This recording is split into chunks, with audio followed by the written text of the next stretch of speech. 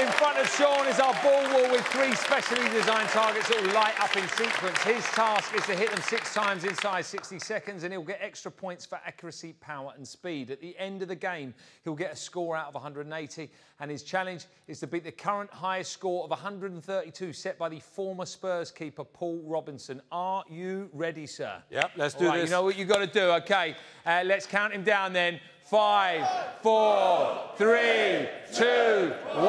Wait for it to light. Wait for it to light. Wait. Go on. Go for it. Go for it. Go, go, go, go, go. Go for it. Oh, I see it up there. Wow. Top right. Top right. That's what we're aiming for.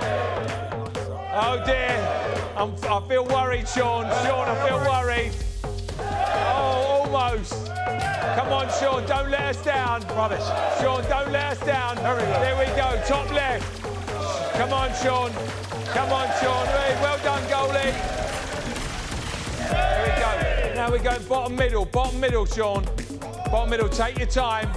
Make it count. Oh, oh Shaun's a bit rusty.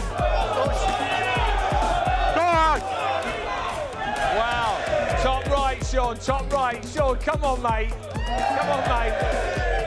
We only let the pros play this. Come on. There we go. He's in. He's in. Last one. Oh, that's it. That must be it. There we go. I don't think it's going to be a high score.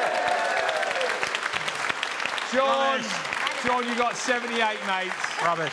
You got 78 out of a possible 180. That puts you fifth on our leaderboard. How do you feel about your performance? Absolute average. It is. Well, do you know what? Actually, I'll be honest with you. I got higher than that, and I'm no good at football. Uh, now, uh, still to come. Uh, still to come. We look ahead to.